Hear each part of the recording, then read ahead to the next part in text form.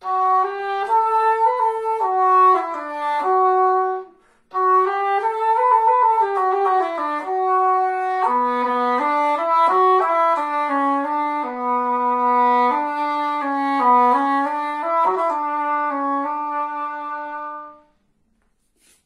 dobry, nazywam się Klaudiusz Sowa i jestem oboistą Opery Śląskiej w Bytomiu.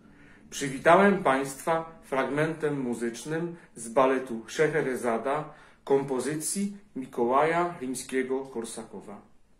Balet ten nasza opera ma w swoim repertuarze i spektakl gorąco Państwu polecam. Odmiana oboju, choć nieco większego pokroju, Dźwięk ma podobno anielski, a nazywa się rożek angielski. Nazwa tego instrumentu jest bardzo myląca, bo nie pochodzi on z Anglii, ani nie jest odmianą rogu.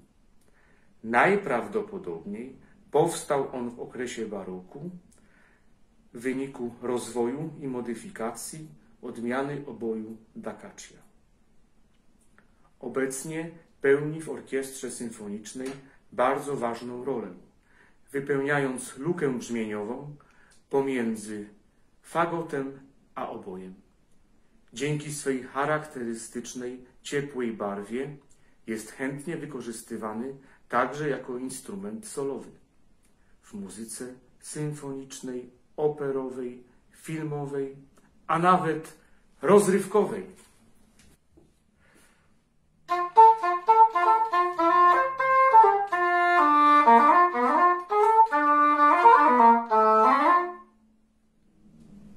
Rożek angielski, podobnie jak obój, składa się z części górnej, dolnej, które łączymy ze sobą, oraz czary w kształcie gruszki. Ponadto rożek wyposażony jest w metalową rurkę, lekko zagiętą, popularnie zwaną esem którą wkładamy do części górnej.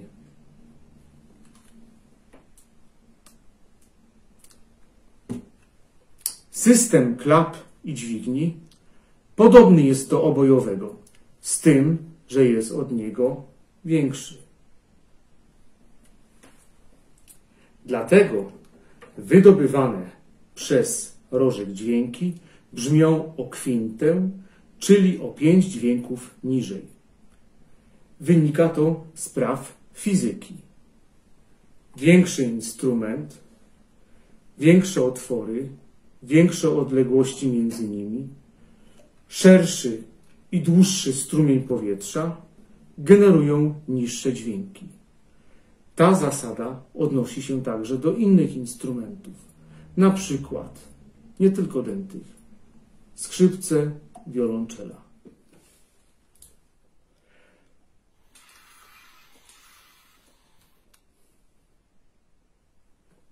Nic. Cisza. Właśnie.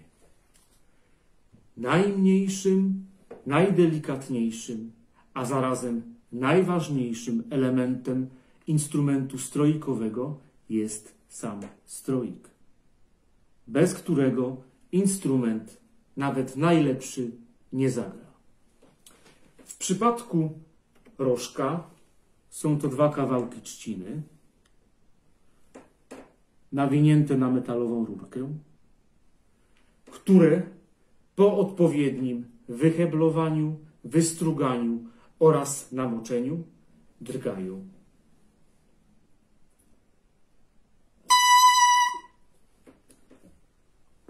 Drgania strójka po włożeniu do instrumentu zostają zamienione w dźwięk i instrument gra. Przekonajmy się.